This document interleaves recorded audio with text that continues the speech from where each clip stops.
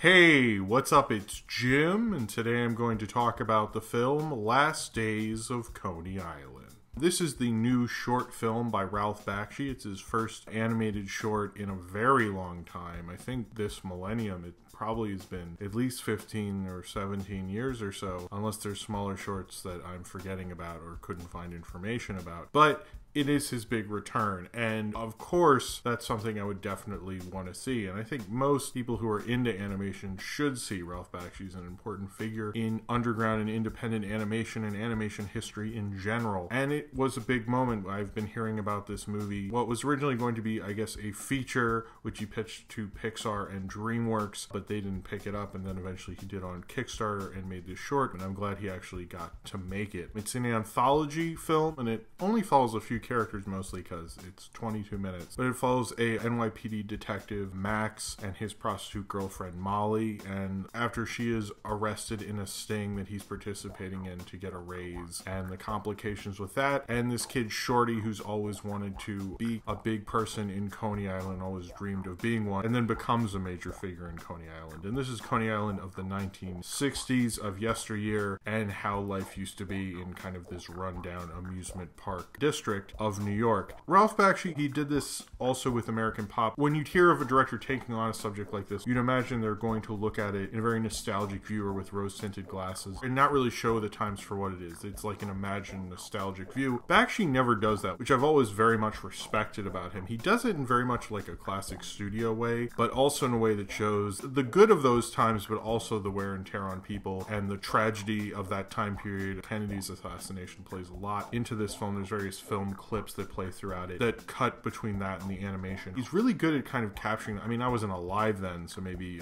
he's really off and it's not like that at all, but it felt like he was capturing in a way that felt real. It felt like he was really capturing a time period. You're getting the grime as well as the goodness when he's looking at a time period, which I've always liked. And I think Last Days of Coney Island shows that Ralph Bakshi hasn't lost that at all, which is great. The animation is a lot rougher than the pictures I saw online years and years ago that are on the Wikipedia page of what this film would look like. And at first, I found that jarring. But as the film progresses, I kind of got into it, and I like the more sketchier, rough style that Ralph Bakshi was presenting in this. He didn't really have a a lot of animators who worked on this. He even commented in interviews he used to have hundreds of animators and tons of crews and millions of dollars to try to pull even something like this off. And it's not as refined as his feature work. There's a certain flow to the animation, there's a feel to the animation, there's a surrealness to the animation that I haven't seen in his films before.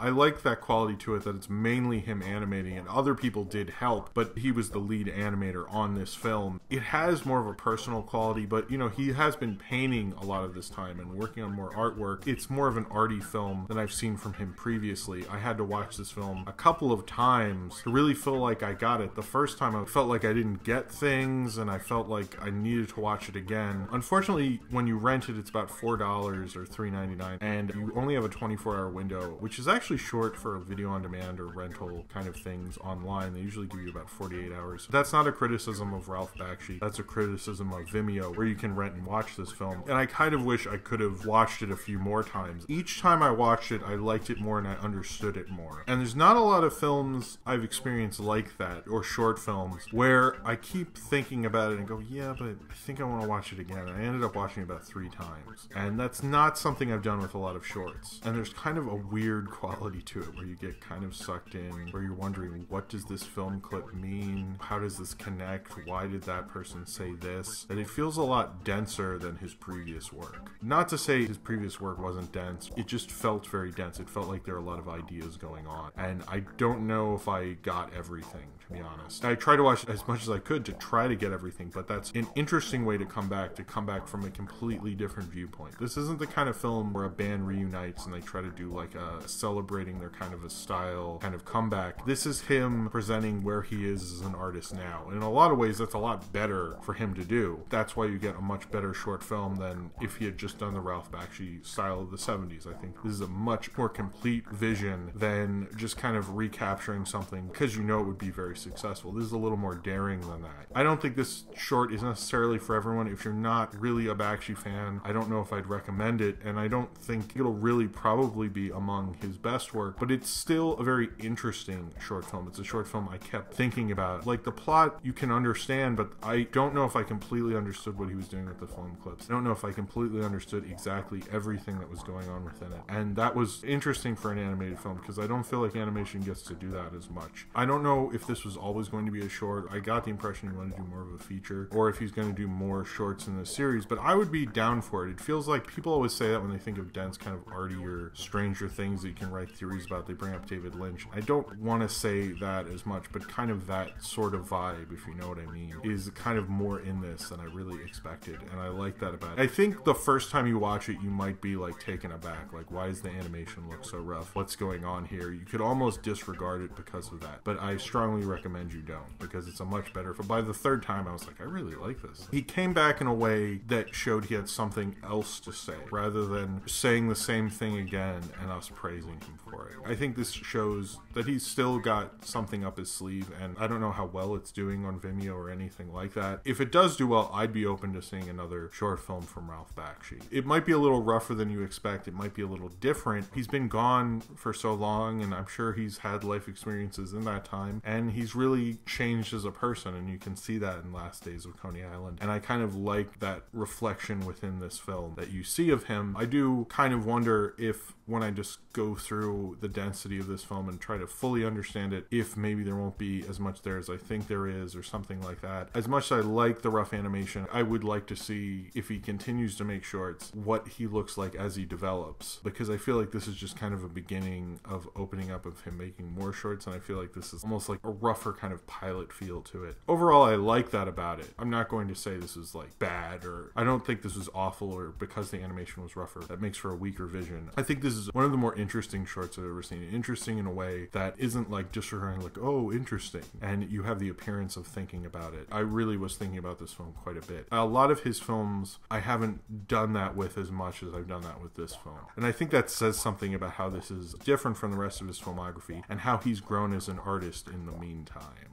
So if you have seen Last Days of Coney Island and you would like to talk about it, then comment below in the comments and subscribe if you would like to. If you'd like to see this short film, I will have a link in the description. If you're watching this when I made this review, then it will be at that link. If you're watching this later, I hope it's still there. But I will have a link in the description so you could watch and rent Last Days of Coney Island if you'd like to. Thank you very much for watching, and I hope to see you next time.